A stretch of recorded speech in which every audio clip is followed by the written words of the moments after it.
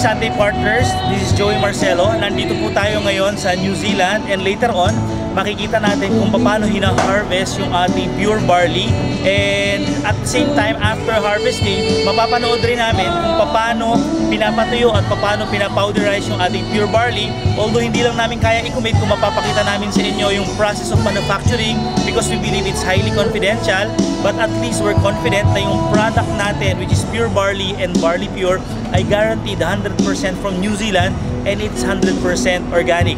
So welcome to New Zealand. We are excited because at long last makikita na rin natin how our barley is being processed. Just, I'll just explain. This is a pasture that has been planted for the regeneration of the soil fertility. Uh, it has nitrogen being fixed in the soil by the clover plants. It has plantains and chicory that will draw the nutrients up into the uh, top part of the soil so that any crops that follow will have sufficient uh, fertilizer that they can produce a good crop of barley leaf. So it's Um, natural fertilizer. And it's natural fertilizer. Yeah, And no artificial fertilizer goes onto this farm at all. yeah. So so how do you, how is it certified as organic?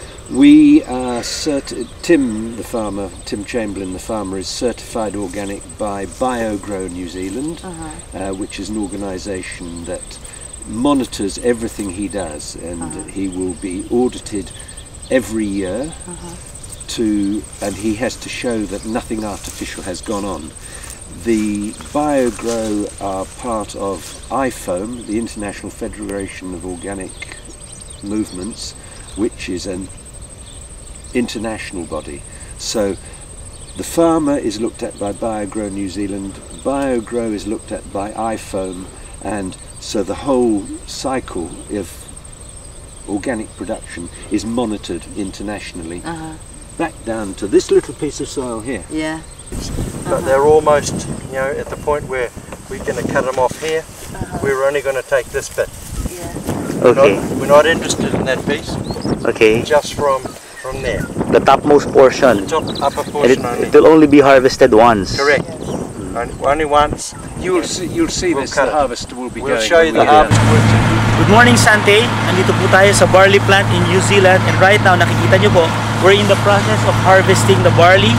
This is a 4 hectare property and it's very cold right here in this uh, place right now. Okay, it's autumn po here in New Zealand and the harvesting process started several weeks ago. Okay, papatapos na po ang pag-harvest natin and right now we're finishing harvesting this 40 hectare property and we're excited because we finally experienced kung paano pong nag-harvest ng barley. This is an entirely organic plantation, organic farm certified by uh, New Zealand. Okay? Kung mapapansin niyo po, yung pag-harvest, okay, it's around a few centimeters lang po and this um, farm will only be harvested once. Okay? So meaning after harvesting yung young barley, grass, pinapalaki na po yung mga barley and pinapatubo na yung mga grains niya. Okay? Yung grains niya, ibang application naman po yun.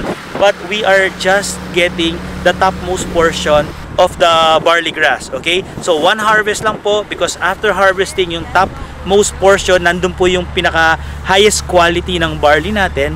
And then that's it. Okay? Palalakihin na po siya until maging barley grains.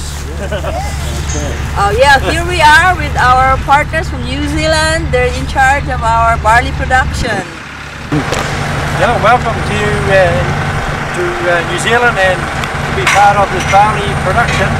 We're happy that you're able to share it with us, and we hope you enjoy a lot of success and a lot of good health with this product. Thank you from New Zealand. key word is certified really, Yeah. so someone independent. Because many can claim that their product is organic. Yeah. But you need a seal for from Just, some yeah, reputable someone, someone independent to Yeah. come and have a look. So that's that's what the BioGrow So label means. you audited once a year, twice a year? oh, just once a year. Once a year. Ah, okay. possibility of When you say auditing, they look at your records, yeah. how you You'll Yeah. do they test the, do, do they still test the soil again? No, not anymore. Uh, we we have to supply soil tests. Yep. Okay. Yeah, they they say we um, they want to supply residue tests, well, we have to go and get one. But Uh, really, it's just about your process, making sure you're buying the right seeds, Okay. putting the right fertilizers on, natural fertilizers. Uh, thank you very much to you, our loyal Sante distributors. We are looking forward to a banner year this year and uh, and really tremendous growth in the years to come.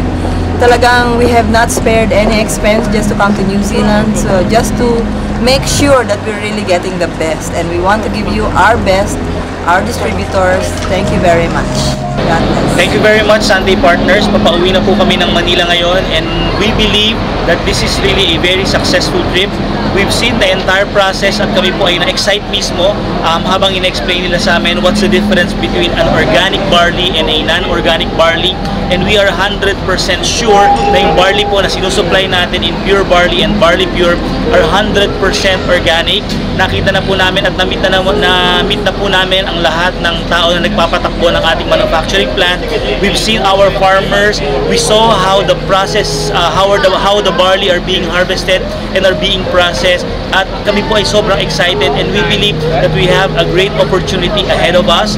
We will be the next big thing in the Philippines. Barley will be the next big thing.